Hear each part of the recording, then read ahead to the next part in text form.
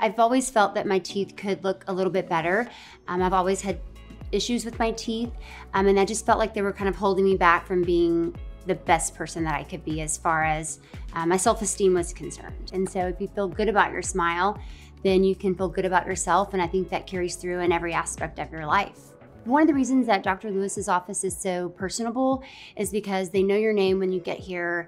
They know why you're coming in. You don't spend a lot of time waiting. They offer just the top notch service in everything that they do. I would say buy the teeth, get the smile. I mean, it's totally worth it.